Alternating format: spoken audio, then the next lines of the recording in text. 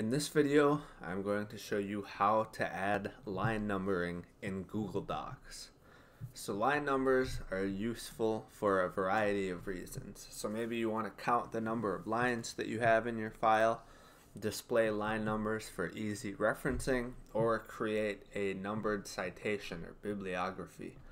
Well, unfortunately, there's not a good built-in way to number lines in Google Docs. There are some workaround methods that we can use, but none of them are really perfect. And there is a Chrome extension that we can use that will create line numbers, but the extension has been known to have some technical issues now and then. So there's not a really good way to do this, but I will show you um, the options that we can use. So the first way is just um, setting up line numbers using this numbered list option.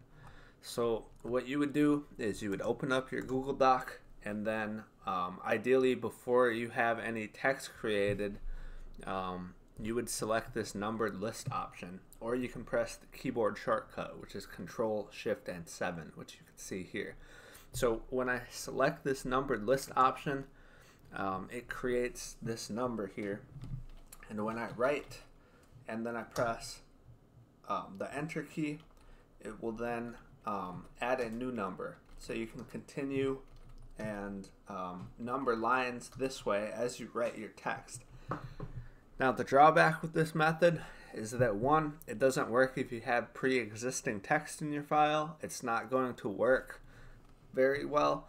And second, um, if you have enough text that it extends beyond one line, let me just write a few more letters here.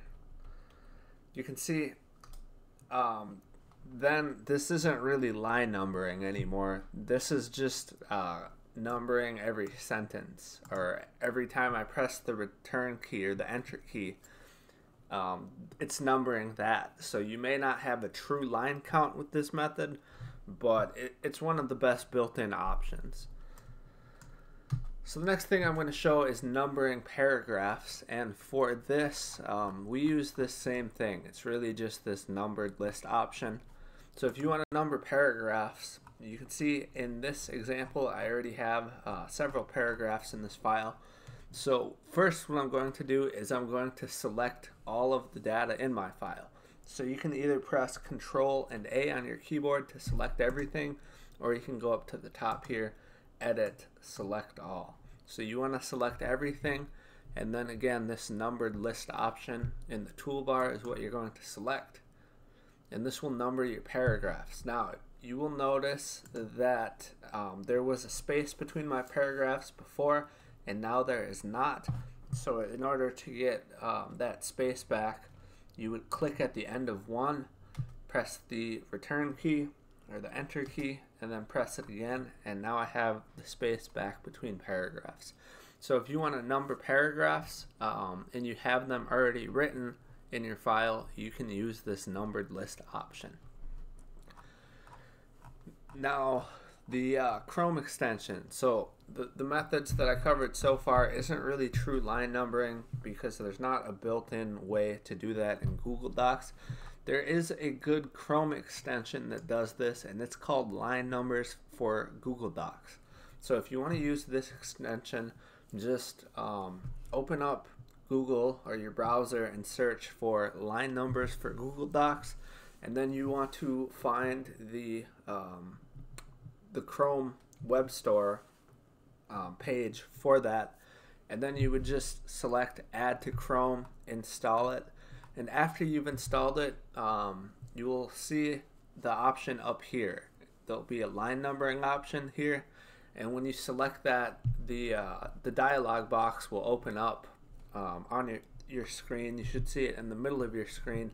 And it will have all of these options for setting line numbers and then you just hit apply after setting your options and that will get you true line numbers.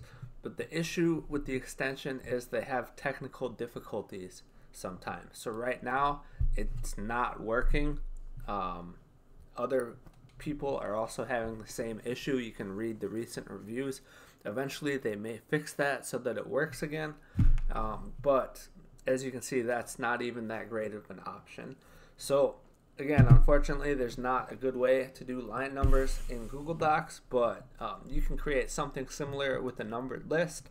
Or if that Chrome extension ever ends up working again, that is your best option. So that's it for this video. If you have any questions, just let me know in the comments. Thank you for watching the video. If you haven't already, make sure to hit the subscribe button. If you have any questions or content suggestions, just let me know in the comments and I'll try my best to answer everyone.